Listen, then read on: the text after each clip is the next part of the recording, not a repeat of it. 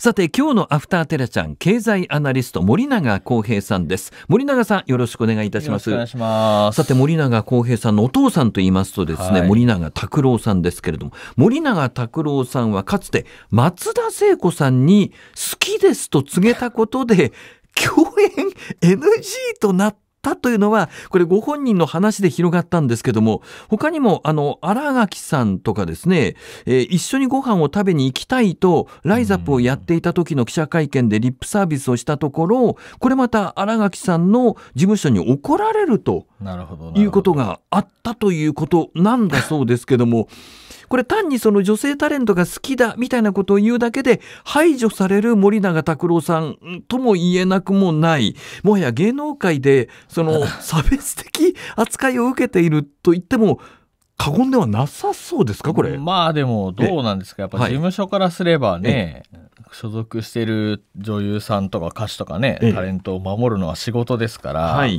まあ、それは僕が松田聖子さんとか新垣結衣さんのマネジメントを任されてるんだとしたら、はい。それは断るわなっていうあそれ差別とかでは普通仕事してるだけだと思いますけどね。守るという意味でうんですか。いまあでやもお父さんからしてみればリップサービスなわけですよね。リップサービスってなんでそこ上からなのかなっていう気がしますよね。そうですか。えーまあ、ただですね、ファン心理というのは非常に敏感なものであるっていうのはその事実であるわけで、うんえー今世界的なその大人気を誇る韓国の人気グループ BTS のですね、韓国における兵役問題、これが騒がしくなっていると言います。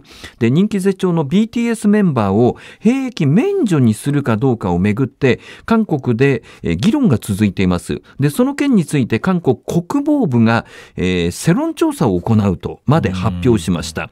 えー世に問うということですね。皆さんどう思いますかってことです。で、当然、韓国国防軍は、の発表は批判されて、その後、韓国国防軍は立場を一転させて調査は実施しないなどと答えたということなんですが、まあ、この相変わらず BTS の兵役免除問題についての混乱が続いていると。これですからその韓国の国防軍が調査をしなければいけないと考えるぐらいの問題だってことなんですかね。なるほど、ええまあ、僕はですね、はいあんまりそのここういうなんだろう、はいい、わゆる k p o p 的なやつに全く興味がないので、はい。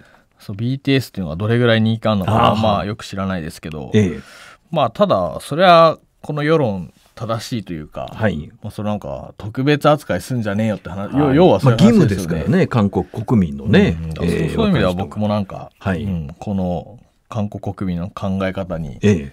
同じっていうか、はいもうそれは特別扱いすんなよっていうのはそれはそうだわなっていうはふうに思いますよね。で一応ですね韓国の兵役法によるとえ国威専用及びい文化創達に寄与した芸術体育特技者は、えー軍の服務の代わりに芸術体育要員として服務することができるとなってはいるんだそうです。うんで、その芸術体育人のこの枠に BTS を入れようとしているわけなんですけれども、兵役特例の恩恵にこの抑せる芸術というのは音楽だとクラシック音楽、BTS のような大衆音楽は該当しないとしているようなんですね。で、2019年11月3日、えすでに芸術体育要員に関して既存の枠組みを維持するが BTS など大衆芸能人つまりテレビによく出る芸能人に関しては恩恵を与えない、まあ、とはっきりさせている部分もあるということで、まあ、これはだから揉めそうだということのようなんですよね。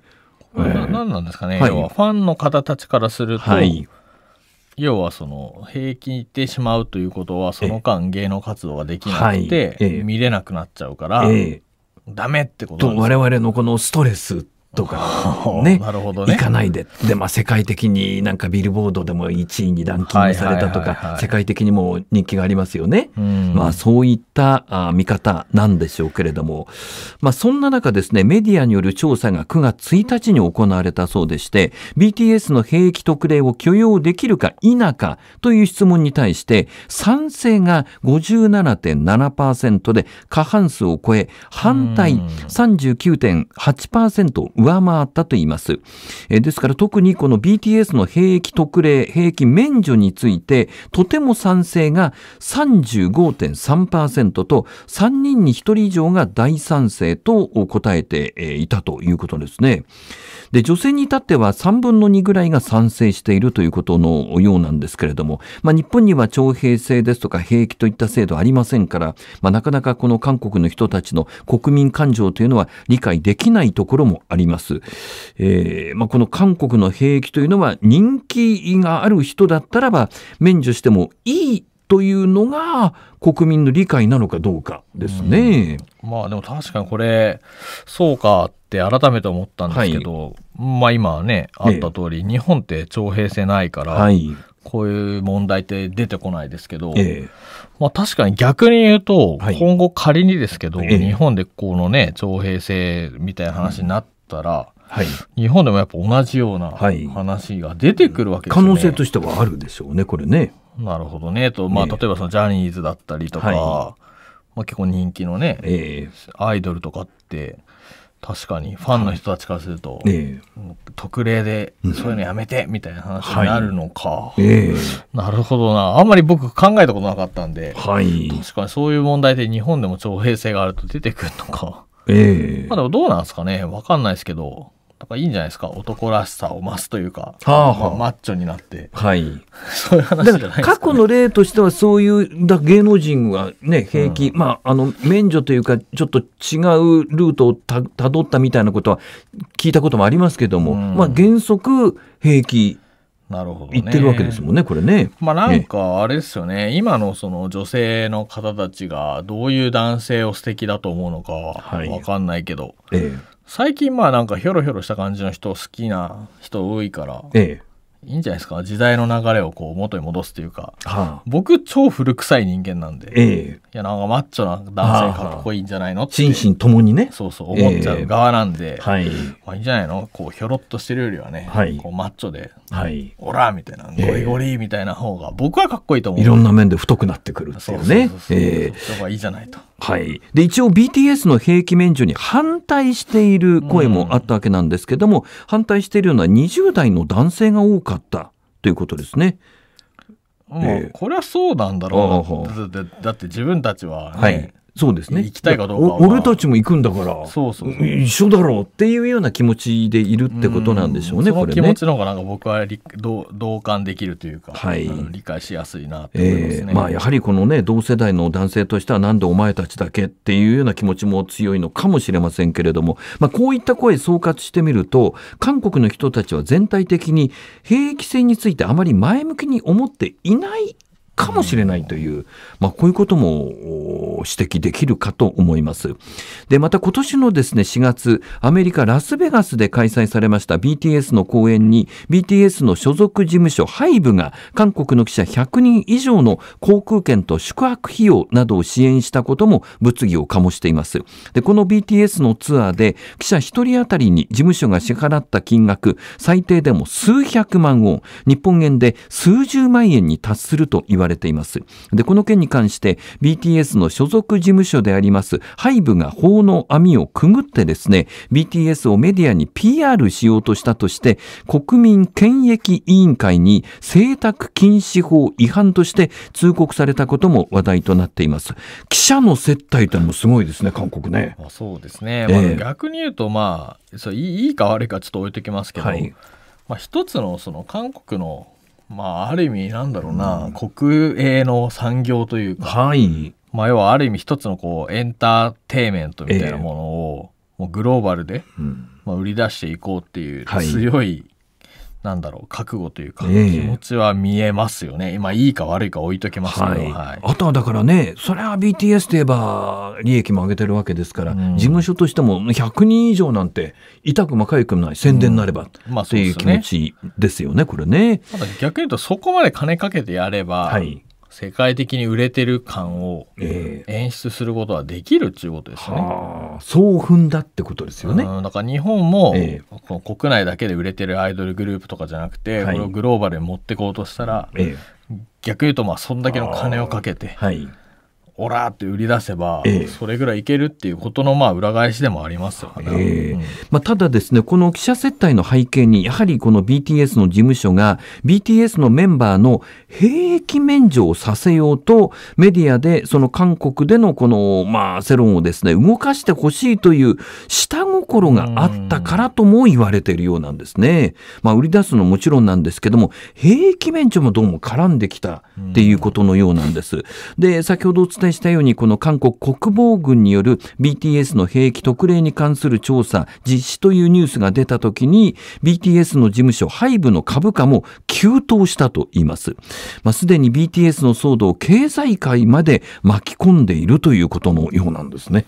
まあ一つのもう商品って言ったら失礼ですけど、はいまあ、ままあ、あでも稼げる人たちがね、はい兵役行っちゃったせいでその間活動できなくなるってなると、ええ今度事務所側からしたら、はい。稼ぎ頭がいなくなっちゃうっていうことで、ええまあ、それだけ必死なんだなと。はい。まあですからちょっと私も素人でよくわかりませんけれども、じゃあ例えば誰かが兵役に行った時、その穴を埋めるのか、それとも、あの、人数少なくやるのかだとか、もしくはもうずっと活動休止するのかとか、うんまあいろんな選択肢がありますもんね。そうですよね。えいやでも改めて、えー確かに兵役がない国に住んでるからですけど、はいそうかこういうことが起こるんです起ね。こるんですね。で BTS 界隈は不況知らずといったその感じのようなんですけれども物価高によるですね消費マインドの低下、まあ、これは韓国だけじゃなくて世界的な問題ともなってきています。えそんな中日本政府低所得者世帯向きにえー5万円の給付金の支援これを決めたようです。え政府物価高対策としてこの秋にも低所得世帯に1世帯当たり5万円の給付金を配る方向で検討に入ったといいます。国際的な資源価格の上昇と円安で輸入する原材料が高騰し食品や電気代が値上がりしています。え生活に欠かせない商品の値上げこれが広がって低所得世帯の暮らしが厳しくなっている。こういうふうに判断して重点的に支援するとしています、えーまあ、この所得が少なくて住民税が非課税となっている世帯を対象に今回はすると。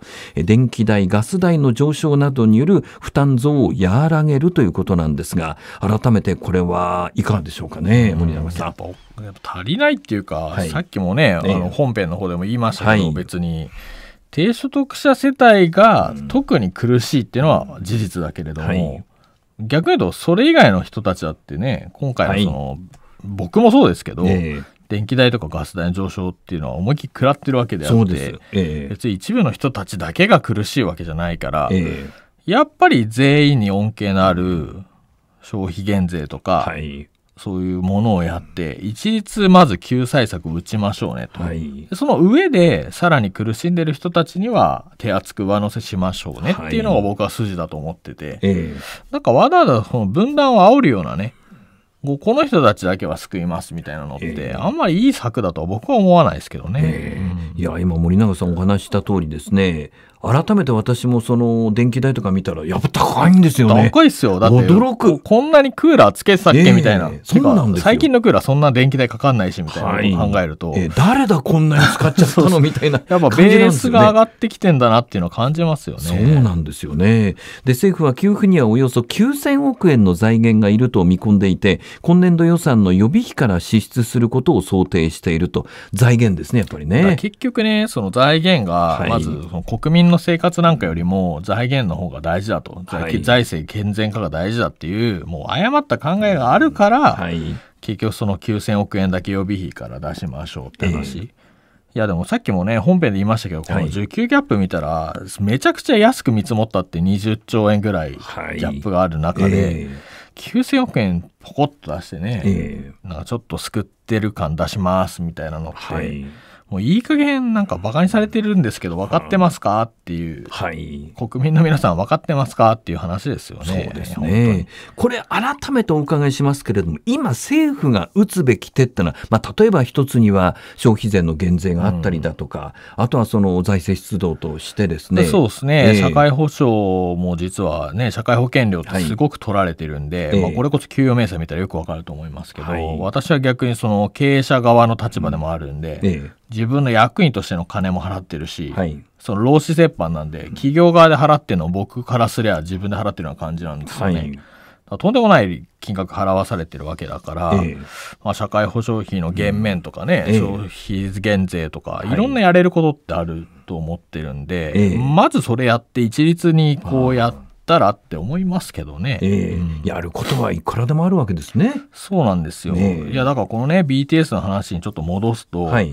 結局要は別に金が全てだという気はないですよ。はい別にそんななんか銭ゲーバーみたいなこと言う気はないけれども、ええでも金で解決できることだって世の中腐るほどあるわけですよ。はい。でこの BTS 売り出すにも、うんこんだけ金使って事務所は頑張って売り出してるわけじゃないですか。ええで結果的にはそのねアメリカのそのチャートのランキングとか上位に来たりとか。はい。ぶっちゃけ金があればやれちゃうわけですよ。ええ何でも。やれちゃうことはいっぱいあるわけで。はい。で、これも国家財政、国家運営にあ当てはめて同じなわけですよ。はい。金で救える命は正直ある。ええ別に金が全てだとは言わないけれども、金で救える命はいっぱいあって。はい。で、それは僕ら家計とか企業とかだと限界がありますけど、国は別にそうじゃないわけじゃないですか。ええいや、だから別になんだろう。救える命があるんだったら金出して救えよって思うし、えそこの余地はね、20兆、30兆あるわけだから、えはい。使いなさいよって思いますけど。で、20兆、30兆出したって日本が潰れるわけじゃないですからね。そうなんですよ。だからなんか、な、な、何を優先順位の上位に置いてんのかっていうところですよね。ええ本当にこの今の政権は優先順位をことごとく間違っている。と思いますね。まあ、いつもでしたらね、森永さんといえば、あーベイスターズのユニフォーム、そうそうそうそう。あとは大谷投手を応援する、本当ですよ。えー赤い T シャツなんです。今日は違いますから。そうですね、ええ。いや僕もね本当はもう経済とか政治の話なんかしたくないですよ、ええ。もう野球の話だけしてしたくないですいやかもうね、ええ。野球の話だけしてたい。えしてない？いや前ちょっと藤井先生ね、あの木曜日のコメンテーターやって、藤井先生と別でちょっと話す機会があったんだけど、ええ。全く同じこと言ってましたよ。そうですか？もう。政治とか経済とかどうでもいいと、ええ。もう釣りとね、ええ。ドラクエの話だけして死んでいきたドいんだとラクエなんですか？って藤井先生が言ってて、あそうです。いやプロレスもそうそうそう、ね。僕もそうなんですよ。ええ。釣り好きだし、はい。プロレスも好きだけど、えもう願わくばね、はい。好きなことだけ話して、好きなことだけやって、人人生終えたいわけですよ。もういちいちね、もう経済とか政治の話とかよりも、本当はそっちのね、野球見て、はい釣りして、ええ気づいたら死んでたぐらいの人生を送りたいわけですよ、本当はね。まだまだ若いじゃないですか。そうさせてくれと、ええうん僕らにいちいち経済とかそんな難しい話させないでくれと。えもう本当村上がどうだとかね、ええ佐野がどうだとか言って気づいたら死んでたっていうのが僕は理想の人生なんですよ。えいや、あとね、あの深夜放送出たりとか。それはまあいいんですけあ、ど。それはいいですか？まあ、たまにはそう親父の喘ぎ声を聞く日があってもまあいいですけどね。うんえ、現時点では残念ながらまだ私聞いてませんから、後で聞こうと思ってます。いやまあ他局なんであれですけど、はいまあぜひね、ええまあいやエンターテインメントとして聞く分には面白い放送だったと思いますよ。はい。